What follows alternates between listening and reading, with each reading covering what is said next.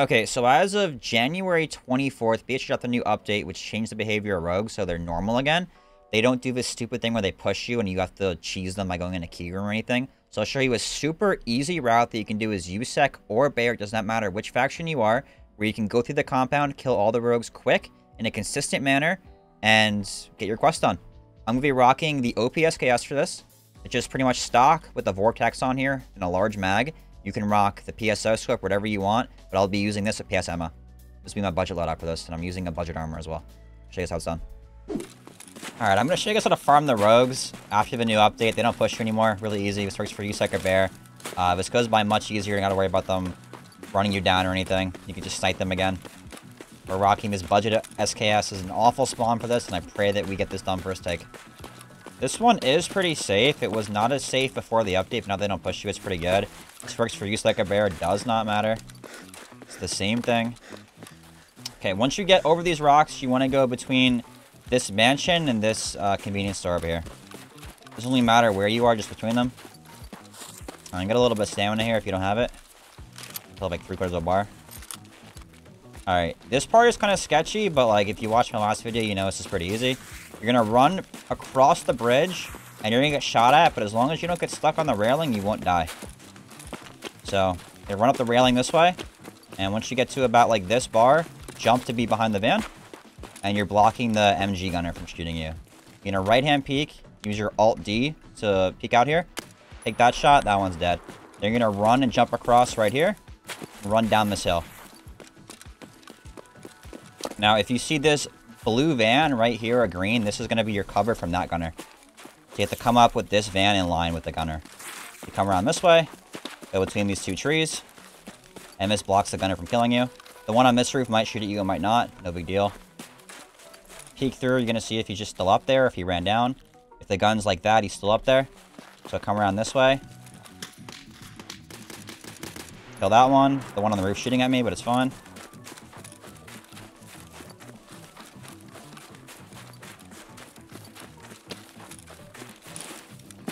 Now, once we get here, you're going to peek through this window and shoot that one.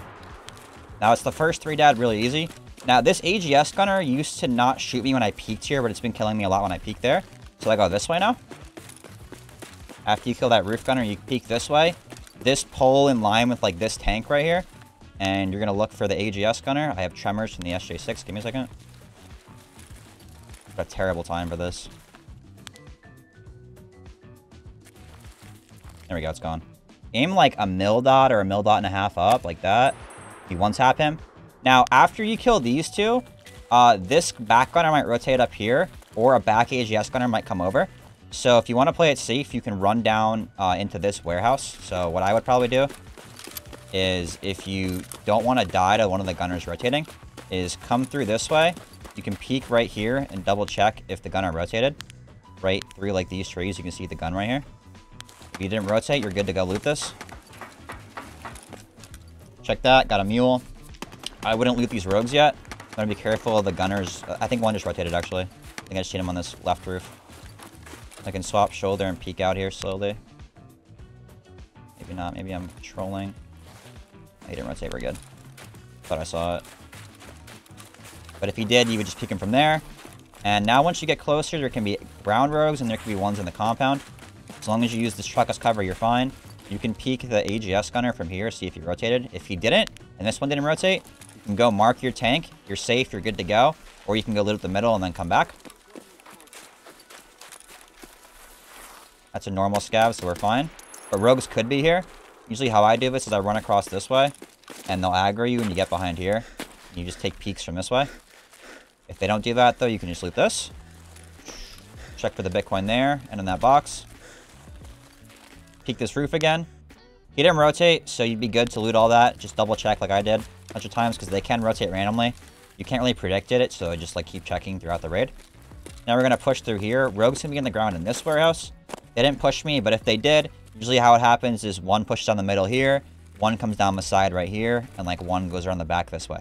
You can't shoot through this fence, but they can. So if you got to fight this one, make sure you back up and try and fight them here. This one you can shoulder swap and just slowly peek out. And down the middle is a free kill. Usually he just walks down, you peek out, tap him like that. Check for Bitcoin here. Check for your GPU or Bitcoin there. Then you got all the loot up top. You can get Tetrises and random tech things up here. Uh, hiker branches, motors, things like that. Uh, this is where your folder is for your one quest. You can get Tetrises here, to check for that. There's your folder for the one quest. And out back, you can get rogues right here. So I just check for these by peeking out kind of slowly. They can be on the left side of the warehouse too. So sometimes if you open this door, just check that they're not like sitting out by those pallets or here. Sometimes they like to sit here, but like around this corner. So you'll hear them yell usually, but you know. If they're not here, you're good. They don't always spawn. Now from this back corner, you can peek out, kill the one on this back gun right here. And then usually the one on this front gun is still standing up right here, which he is. You can kind of see silhouette, I think. I think that's him right there. I can't really see it too well, but it's fine. He's not looking at me. Then we get the back gunner right here. Uh, anyway, this gunner doesn't always, like, push you for some reason, or doesn't go on the gun. So if he doesn't go on the gun, you either have to go up the stairs and fight him, or you can ignore him. Just make sure he doesn't come back and, like, kill you. Uh, another thing, too, is farming rogues doesn't work in offline mode. Because the goons that we spawn, it, like, breaks their AI.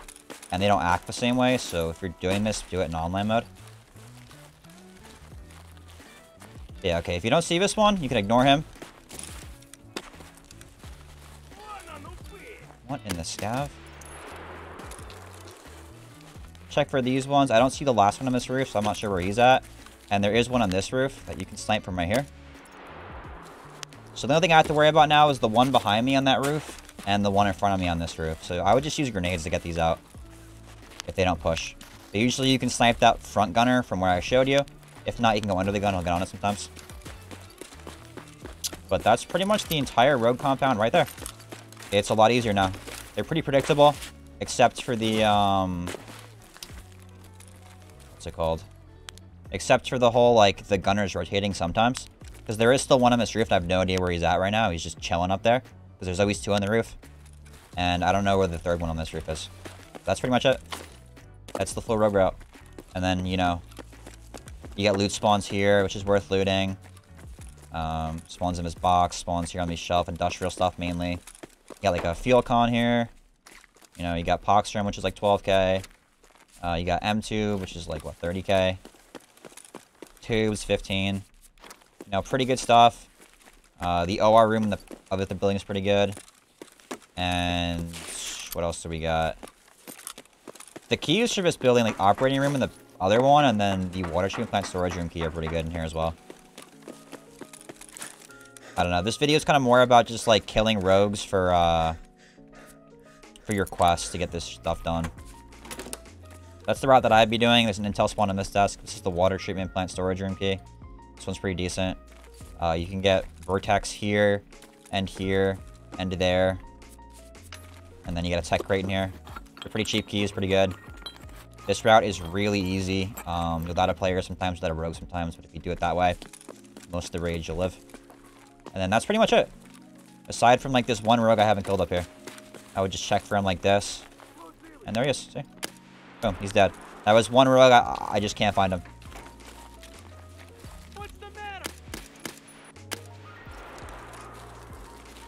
I don't know where the other one went, though. And also, I don't think Lighthouse is that bad, because I tried scavving here three times today, and every time I scavved, it was half the raid was gone by. So I actually think they fixed player scavs on Lighthouse. So I think for the first, if you're in and out of the compound in 15 minutes, it feels like you're chilling. Take the car if you're done, or take the, uh, what's it called? Or the next extract. The ground rogues pretty much only spawn at building one. On building three, they can sometimes spawn on the ground too.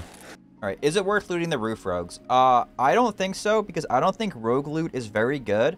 Most of the money that comes from rogues comes from their AFAKs and their M67s being worth a lot of money. And then their ammo is kind of decent, like M855 and PS ammo also for a lot in the flea market. But I usually feel like when I loot roof rogues, it slows me down a lot and gets me killed by either other players coming in the compound or getting sniped. And I feel like each rogue gives me about 70k worth of loot, and it's just not worth going on the roof to die to that shit.